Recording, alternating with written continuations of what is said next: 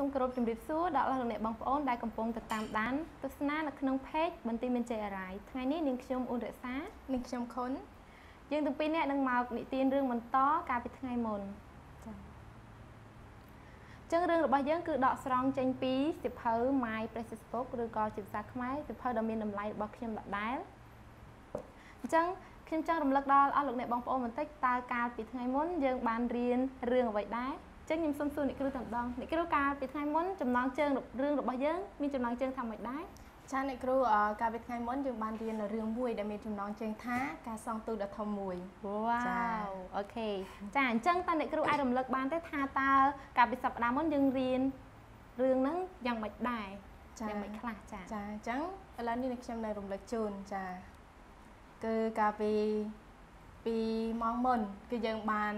រៀនពីការសង់ទូកដ៏ធំមួយចាគឺតេតងនឹងបរោះម្នាក់ដែលគាត់មានឈ្មោះថា Noe ដែលជាម្នាក់ដែលព្រះអង្គបានស្រឡាញ់គាត់ហើយព្រះអង្គក៏មានព្រះបន្ទូលទៅកាន់គាត់ឲ្យគាត់បានសង់ទូកដ៏ធំមួយហើយព្រះអង្គក៏បានដាក់ឈ្មោះទូកនោះថាគឺជាទូកដ៏ធំចាហើយក្នុងការសង់សង់នឹងផងដែរគឺបរិមម្នាក់ហ្នឹងគ្រាន់តែបានឮព្រះបន្ទូលរបស់ព្រះអង្គភ្លាមគាត់ក៏ដោយសារតែគាត់មានសេចក្តីស្មោះត្រង់និងសុចរិតចំពោះព្រះជាម្ចាស់គាត់ក៏បានស្ដាប់បង្គាប់ព្រះអង្គដោយការ សាងសង់ទូកខិតខំយ៉ាងស្វះស្វែងក្នុងការដែលសង់ទូកមួយទូកមួយនឹងហើយបន្តមកទៀតគាត់ក៏បានហៅកូនប្រុសរបស់គាត់ក្នុងការដែលជួយផងដែរចាអូខេអរគុណច្រើនអ្នកគ្រូដែលបានរំលឹករឿងរបស់យើងអញ្ចឹងយើងនឹងចូលយើងនឹងបន្តសាច់រឿងរបស់យើងបន្តទៅទៀតចឹងការដែលអ្នកគ្រូបានរំលឹកហើយថានឹងមានទឹកភ្លៀងធ្លាក់មកហើយលោកអេបានសាងសង់ទូកនឹងចាអញ្ចឹងកំឡុងពេលដែលលោកណូអេសាងសង់ទូក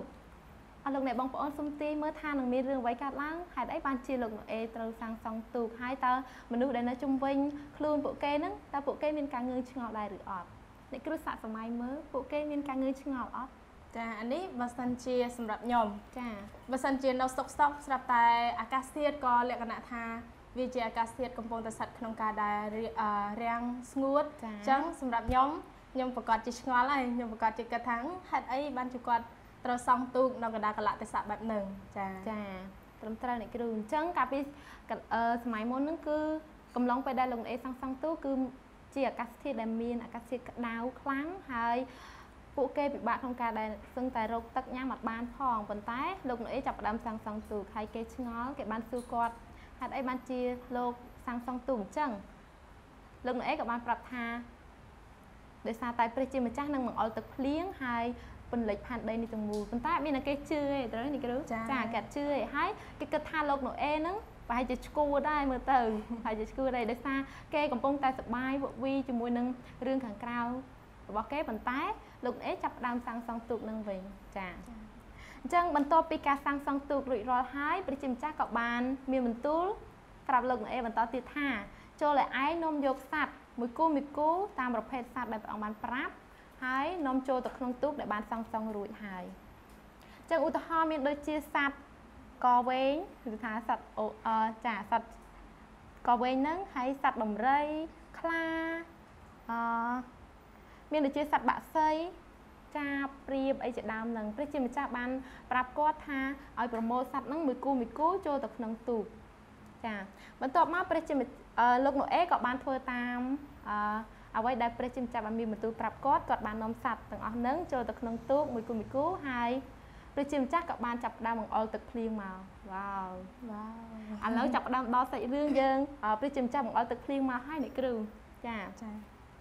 អឺអញ្ចឹងរឿងរបស់យើងសូមឆ្លេះត្រឹមតែប៉ុណ្ណេះសិនយើងនឹងស្ដាប់រឿងបន្តទៀតនៅថ្ងៃក្រោយឥឡូវនេះពេលដែលយើងទៅស្ដាប់រឿងជាភាសាអង់គ្លេសម្ដងចា So after God told Noah to build a big ship and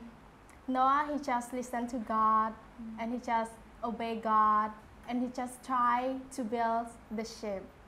and God called that ship the ark And then Noah, he called his son to help him. And after that, so many people, they don't understand about what they did. Yes. And Noah, they just, they don't really care about that. They just try and work hard to finish the ark. And then when he finished the ark, and God continued to tell him to bring one piece of every animals on the earth and birds in the ears into the ark. And for example, like you see in this picture, like elephant, giraffe, buffalo, birds, dove, crows, and etc. And then when the rain floods on the earth, and all of these creatures did not drown. So in this story, we'll stop here. So if uh, you want to know the end, please continue to watch. Uh, please continue to watch in these videos at 2 p.m. on Friday. Yes